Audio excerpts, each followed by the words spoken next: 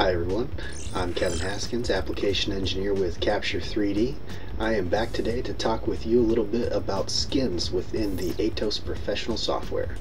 If you're new here and you like my video, please don't forget to click subscribe down below so you don't miss out on any more 3D technology tips and tricks delivered by the Capture 3D team.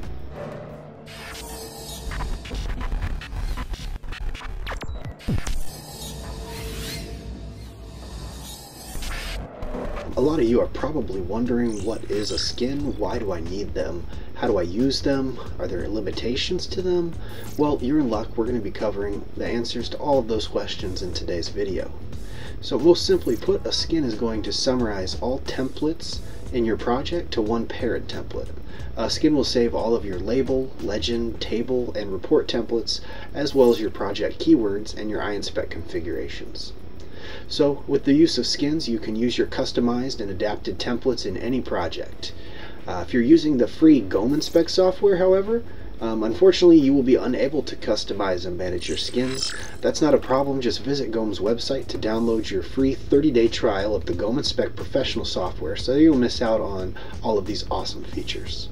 So let's take a closer look at skins within the software. All of GOM's software are going to come with two default skins. You'll have your inspection skin and your deformation skin. The inspection skin is defined for all standard inspection tasks, regardless of the industry that you work in. And then the deformation skin is defined for all inspection tasks on deforming or moving parts.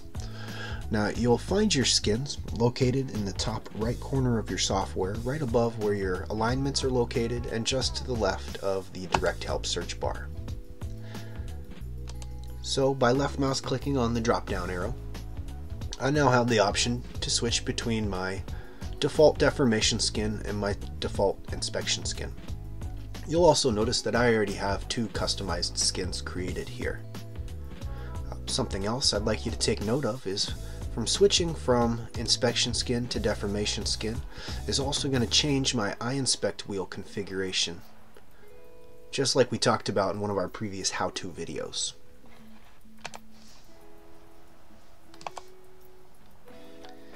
So if we've made changes to one of our templates, so in this case we'll say our report template,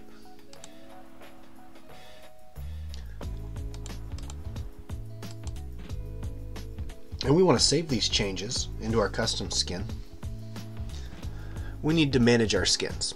Um, so for this example you'll see that there are several default report styles and templates laid out by GOM that they've created that come standard with the software. Um, what I've actually done is created a series of report pages because I want my company's name displayed on the report pages.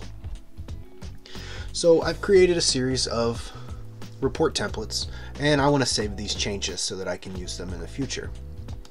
I'll come up to manage skins, select the folder that I would like my skin saved in and click this save icon here. The software is going to prompt me to insert a name for the skin.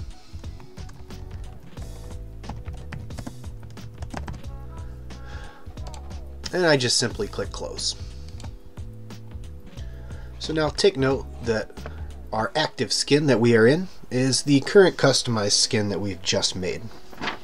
And then also remember that skins not only save changes to your report templates, but your label, legend, table templates, project keywords, and iInspect configurations as well.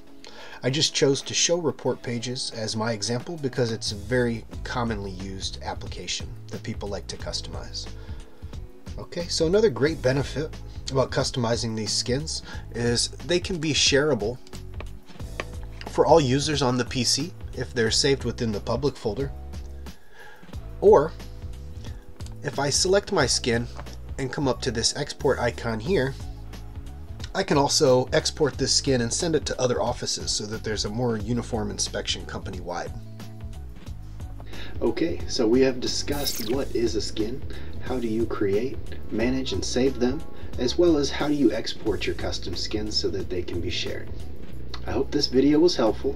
Don't forget to click that subscribe button down below or visit our website for case studies or to schedule a one-on-one -on -one with our team. Until next time, bye.